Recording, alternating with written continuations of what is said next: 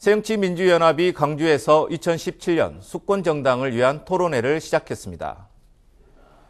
새정치민주연합 초재선 모임인 더 좋은 미래는 9일 광주시의회에서 2017 집권의 길 국민에게 묻는다는 토론회를 진행했습니다.